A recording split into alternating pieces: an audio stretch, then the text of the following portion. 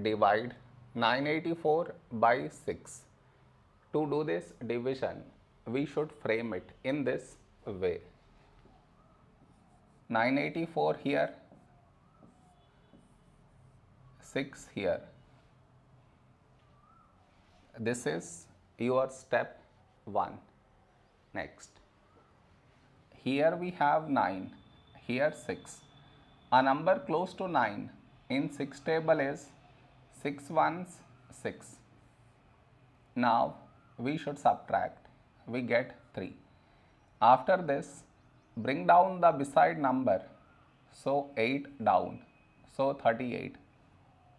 A number close to 38 in 6 table is 6 6 36.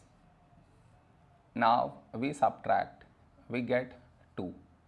After this, bring down the beside number, so 4 down, so 24.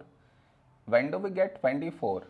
In 6 table, 6 fours 24. Now we subtract, we get 0. No more numbers to bring it down, so we stop here. This is our remainder, this is our quotient.